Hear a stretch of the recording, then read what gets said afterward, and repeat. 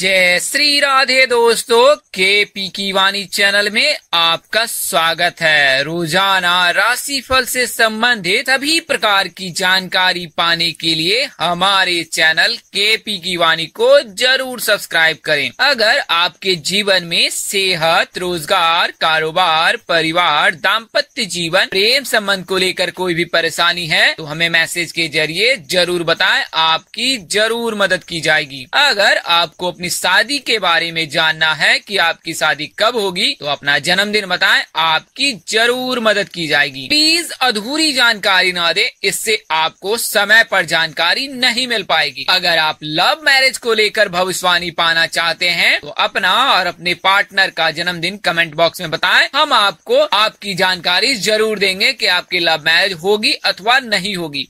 यह जानकारी आपको मूलांक के हिसाब से दी जाएगी। इसके अलावा शादी से संबंधित जानकारी आपको जन्म तिथि के हिसाब से दी जाएगी। कुंडली के अनुसार से इसमें मामूली बदलाव हो सकता है। अगर जवाब देने में देरी होती है तो आप निराश और हताश बिल्कुल ना हो, क्योंकि आपको जवाब ज़रूर दिया जाएगा। दोस्तों, आपको बताना चाहूँगा कि अगर आपकी कुंडली बनी हुई है तो आप केपी की वाणी से संपर्क कर कुंडली दिखवा सकते हैं। हम आपको आपकी जानकारी ज़रूर देंगे कि आपकी शादी कब होगी। अगर कुंडली में ग्रह दशा अंकित हो, तब अन्यथा आपको कुंडली बनानी पड़ सकती है। खासकर शादी से संबंधित जानकारी के लिए आपको विशेष कुंडली बनवानी पड़ती है। इसमें आपको शादी से संबंधित सभी जानकारी प्राप्त हो जाती है कि आपकी शादी कब होगी, कहाँ होगी, कैसे होगी, किससे होगी किस नाम से हो सकती है, किस राशि से करनी चाहिए, आपके जीवन साथी का रंग रूप, स्वरूप, स्वभाव, आपका स्वभाव कैसा होगा, उनका कैरियर आपका कैरियर कैसा होगा। अगर आप लव मैरिज करना चाहते हैं या चाहती हैं तो माता पिता की सहमति मिलेगी अथवा नहीं मिलेगी। इन तमाम तरह की जानकारी आपको कुंडली बनाकर दी जाएगी। इसके लिए आप eight five two one eight three five six seven zero इस नंबर पर व्हाट्सएप मैसेज कर सकते हैं या आप कॉल कर सकते हैं। नंबर एक बार और दोहरा देता हूँ। Eight five two one eight three five six seven zero. इसके अलावा आप संचार के सभी माध्यमों से केपी की वाणी से जुड़ सकते हैं। दोस्तों, आपको यह भी बताना चाहूँगा कि अगर आपकी शादी तय हो चुकी है तो अपनी कुंडली मिलान अवश्य करा लें। शास्त्रों में ऐसा बताया गया है कि भकुर दोष, नारी दोष और मांगलिक प्रभाव में शादी नहीं करनी चाहिए जातकों की। तो अगर आपकी शादी तय हो चुकी है तो अपने नज़दीक के किसी प्रकांड पंडित और ज्योतिष से सलाह लेकर कुंडली मिलान अवश्य करा लें और यह जानकारी प्राप्त कर लें कि आप और आपका जीवन साथी नारी दोष से मुक्त है अथवा भकुट दोष से मुक्त है। कई ज्योतिष भकुट दोष और नारी दोष में कुछ वैदिक उपाय बताते हैं, जिन्हें करने से नारी दोष और भकुट दोष का प्रभाव कम होता है। हालाँकि पूरी तरह से यह खत्म नहीं होता है। तो ऐसे में जातकों को सलाह दी जाती है कि नारी दोष और भकुट दोष में शादी नहीं करनी चाहिए। आप केपी की वाणी से भी संपर्क कर अपनी कुंडली मिलान करवा सकते हैं। मामूली शुल्क पर हम आपको कुंडली मिलान कर पूरी जानकारी देंगे कि आपकी शादी हो सकती है और कितने गुण मिल रहे हैं। वैवाहिक जीवन आप दोनों का कैसा रहेगा? तो आज मैं आपको उन राशियों के बारे में बताने जा रहा हूँ, जिनकी शादी जनवरी 2022 में होने वाली है। तो आइए जानते हूँ राशियों के बारे में। यह जानकारी आपको ग्रह गोचर की स्थिति और प्रकांड पंडित की भविष्य गणना के अनुसार दी जा रही है। अगर जानकारी देने में अपने अनुज यानी कि मुझसे कोई गलती हो जाती है तो कृपया मुझे क्षमा कर दीजिएगा। मेरी कोशिश आपको सत्य और सही जानकारी देने की ही रहती है। अगर आप कोई सलाह अथवा परामर्श देना चाहते हैं तो अवश्य दे। आपकी परामर्श और सलाह का मुझे इंतज़ार रहता है। तो आइए अब आगे बढ़कर यह जानकारी प्राप्त करते हैं। तो आगे बढ़ने से पहले आपको बता दूँ कि शादी से संबंधित जो जानकारी होती है, वह ज्योतिष शास्त्र में निहित है। कई ज्योतिष इसे बताते नहीं है, पर शादी के समय बहुत बातों का ध्यान रखना पड़ता है। शास्त्रों में यह बताया गया है कि इन नियमों के पालन करने से कन्या या वर दोनों ही सौभाग्यवती जीवन जीता है। तो अगर आपको यह जानकारी प्राप्त नहीं है तो आइए बारी बारी से जानते हैं। जैसा कि आप सबको पता है कि ज्योतिष शास्त्र में विवाह कर्म कांड का पूरा सार बताया गया है। उन्हीं सारों में से कुछ चुनिंदा चीज़ों को आपके सामने प्रस्तुत कर रहा हूँ, ताकि आपको अपनी कन्या या लड़के की शादी में कोई दिक्कत ना हो। तो आइए बारी बारी से जान लेते हैं। तो दो कन्या का विवाह एक समय कभी नहीं करना चाहिए। कई बार ऐसा देखा जाता है कि दो लड़कियों की शादी एक ही बार कर दी जाती है, किंतु शास्त्र में ऐसा निषेध है। एक कन्या की शादी के उपरांत दूसरी कन्या की शादी हो सकती है, परंतु एक साथ शादी नहीं करनी चाहिए। शास्त्रों में यह भी निहित है कि एक समय में दो शुभ कर्म करना उचित नहीं होता है। इसके लिए कभी भी दो शादी एक बार में नहीं करनी चाहिए।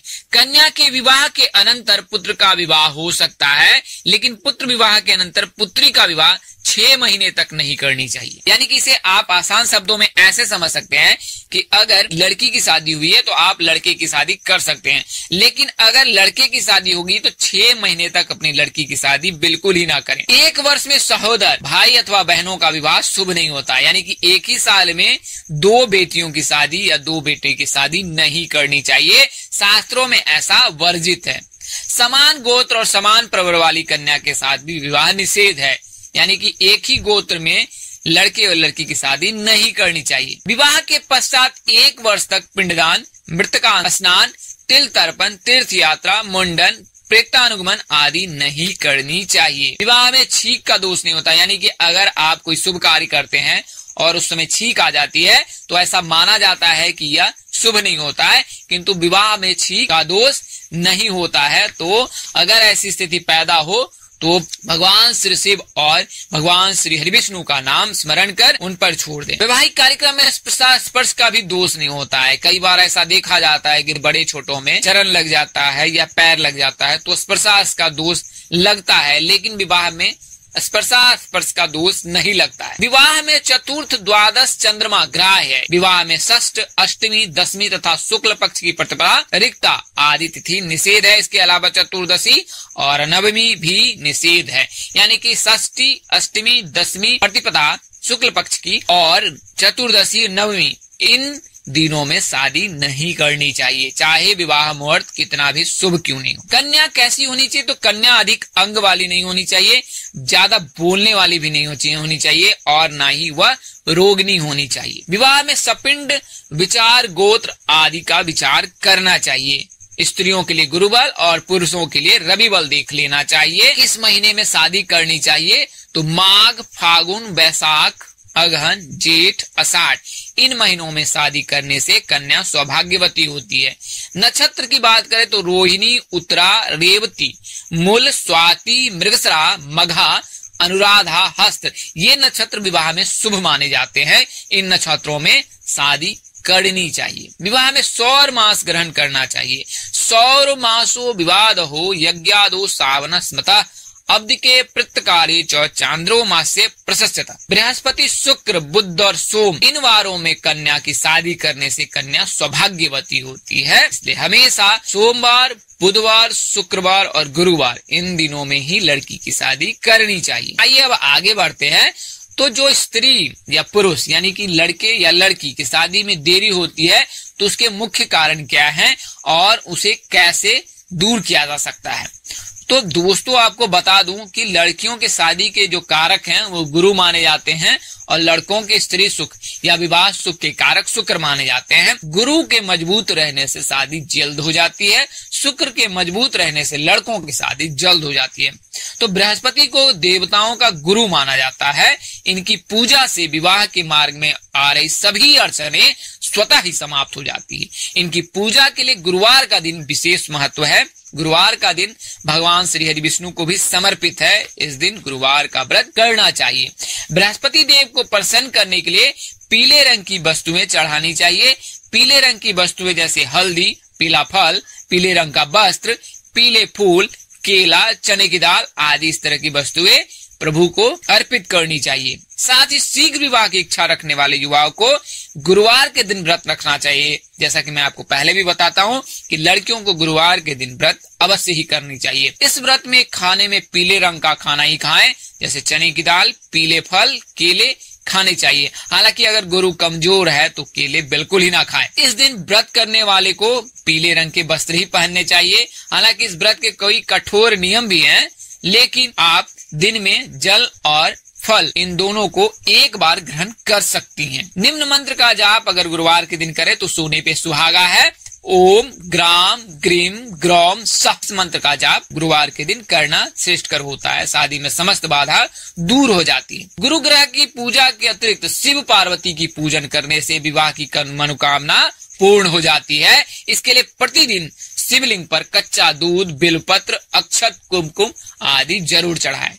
अब आइए अब जानते हैं लड़कों की शादी के कारक तो शुक्र को माना गया है। शुक्र के मज़बूत रहने से शादी शीघ्र होती है। शुक्र को कैसे मज़बूत किया जाए? तो शुक्र को मज़बूत करने का सबसे सरल उपाय है शिव जी और माँ पार्वती की सच्चे दिल से पूजा करें इसके लिए आप सोमवार को शिव जी को सफ़ेद फूल, कच्चा दूध आदि अर्पित करें। इसके अलावा सोमवार और शुक्रवार के दिन सफ़ेद कपड़े पहने। शुक्रवार के दिन भी शिव जी की पूजा करना विशेष फलदायी होता है।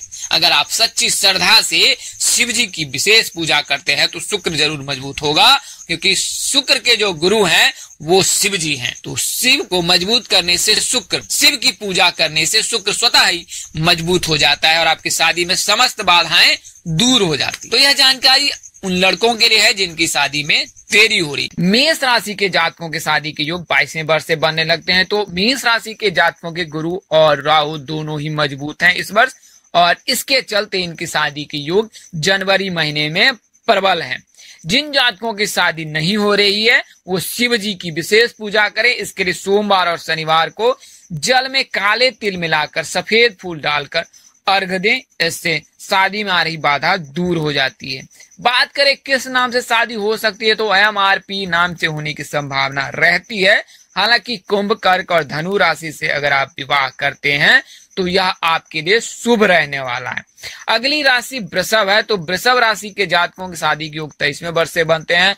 गुरु के मज़बूत रहने से यह योग बन रहा है लड़कियों के लिए, जबकि लड़कों के लिए राहु का मज़बूत होना अथवा राहु की दृष्टि होना शादी के योग बना रहा है। ऐसा हो सकता है कि शुक्र के मज़बूत रहने से भी शादी के योग बन रहे हैं। तो शादी का महीना भी जनवरी महीना ही है। वृषभ राशि के जातकों के लिए अगर शीघ्र शादी करना चाहते हैं तो मंगलवार को हनुमान जी को लाल फूल चढ़ाए। इनके आराध्य देव हनुमान जी हैं तो हनुमान जी की विशेष पूजा अर्चना करें। मंगलवार को हनुमान जग का व्रत रख सकते हैं। या रख सकती हैं। लाल फूल चढ़ाए, लाल चीज़ों का सेवन इस दिन न करें। मंदिर में जाकर प्रसाद चढ़ाकर प्रसाद को गरीबों में प्रदान, वितरण कर दें। इस प्रसाद को बिल्कुल ही ना खाएँ।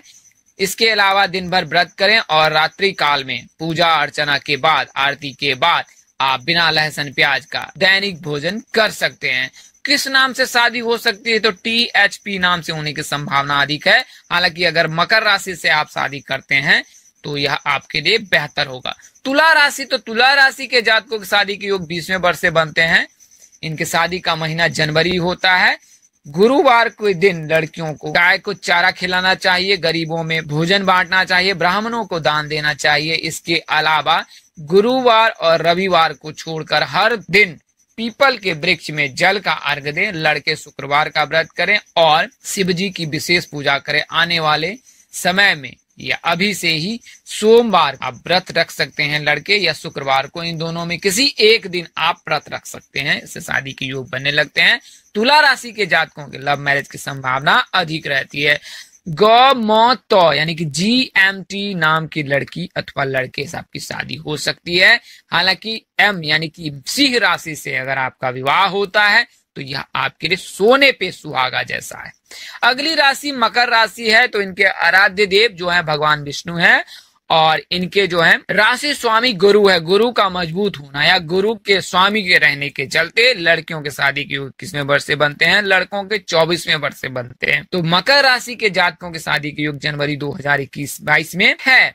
जनवरी महीने में शादी के प्रबल योग हैं। चंद्रमा को अगर आप मज़बूत करते हैं तो आपको खूबसूरत जीवन साथी मिल सकता है या मिल सकती है। क्यू एच वाई यानी कि वाई नाम के लड़के या लड़की से शादी होने की संभावना अधिक रहती है। कुंभ राशि और मीन राशि से अगर विवाह होता है, यानी कि एस जी नाम के लड़के, लड़की से आप विवाह करते हैं, या लड़की है तो लड़के से या लड़की, लड़के हैं तो लड़की से विवाह करते हैं तो यह आपके वैवाहिक जीवन के लिए शुभ रहने वाला है। अगली राशि मीन राशि है तो मीन राशि के जातकों के शादी के योग भी बन रहे हैं, क्योंकि इनके राशि स्वामी गुरु हैं और आराध्य देव भगवान विष्णु हैं। इसके चलते, गुरु के मज़बूत रहने के चलते और भगवान विष्णु की विशेष कृपा के रहने के चलते, गुरु की दृष्टि हमेशा इनकी कुंडली के सप्तम भाव पर बनी रहती है। इसके लिए इक्कीस वर्ष से इनके शादी के योग बनने लगते हैं। जनवरी महीने में शादी के प्रबल योग हैं सिख विवाह के लिए विष्णु जी की पूजा अर्चना करना आपके लिए विशेष फलदायी होगा। एस जी नाम से यानी कि कुंभ राशि के लड़के लड़कियों से शादी करना आपके लिए बेहतर होगा।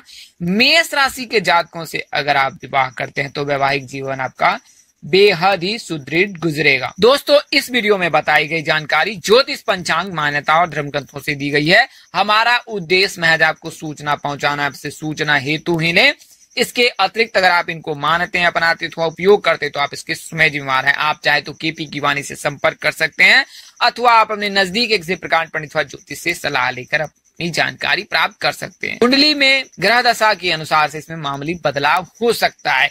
इस तरह की अन्य वीडियो देखने के लिए हमारे चैनल के डैशबोर्ड अथवा प्ले लिस्ट पर जाए और अपनी राशि अनुसार वीडियो ज़रूर देखें। तो दोस्तों, आपको यह जानकारी कैसी लगी? लाइक करें, कमेंट करें और शेयर कर हमें ज़रूर बताएँ। अगर आप मेरे चैनल पर नए हैं तो चैनल को सब्सक्राइब कर लें। साथ ही बेल आइकन को प्रेस करना ना भूलें। माता रानी कृपा से आपके चेहरे पर हमेशा मुस्कान बनी रहे। आप सौ परिवार स्वस्थ एवं सुखी रहें। आप सभी के प्यार और स्नेह के लिए आप सबको हृदय से धन्यवाद करता हूँ। आप लोग इसी तरह हमारे साथ जुड़े रहे। इन्हीं शुभकामनाओं के साथ आपसे विदा लेता हूँ कि जल्द एक नए वीडियो और एक नई जानकारी लेकर आपके समक्ष हाजिर रहूँगा। तब तक के लिए मुझे इजाज़त दे। आप जहाँ रहे, मस्त रहे, स्वस्थ रहे। माता रानी कृपा बनी रहे। नमस्कार जय श्री दोस्तों जय श्री कृष्णा जय माता दी जय वाहे गुरु